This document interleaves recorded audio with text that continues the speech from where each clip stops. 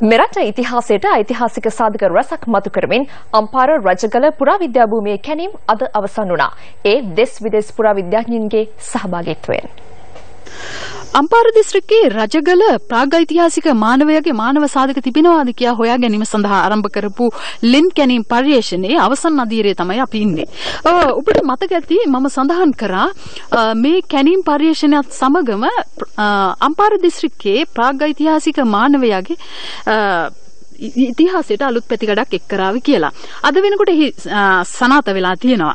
මේ වෙනකොට අපි හොයාගෙන තියෙනවා ඓතිහාසික යුගයේ සහ ප්‍රාග්ඓතිහාසික යුගයේ මානවයාගේ මානව සාධක බොහෝ ගණනාවක්. එහිදී ප්‍රාග්ඓතිහාසික මානවයාගේ ආහාර රටාව වුන් භාවිතා කරපු ගල්ආයුධ තාක්ෂණය වගේ බොහෝ තොරතුරු මෙහිදී හමුලා තියෙනවා. ප්‍රාග්ඓතිහාසික මානවයා ජීවත් වූ බවට සාධක තිබේදයි පිරික්සීමේ අරමුණින් මෙම කැණීම් ආරම්භ කෙරුණා. ඒ දෙස් විදෙස් ගවේෂකයින් රැසකගේ සහභාගිත්වයෙන් අම්පාර දිස්ත්‍රික්කයේ ප්‍රාගෛතිහාසික මානව සාධක සොයා කළ පළමු ගවේෂණයද මේ වන අතර එය අද අවසන් කෙරුණේ සාධක රැසක් මතු කර ගනිමින්.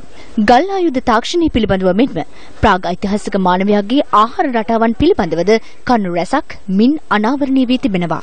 අපි එම සාධක ඉදිරි විද්‍යානුකූල පර්යේෂණ සඳහා මේ වෙනකොට යොමු කරලා තියෙනවා.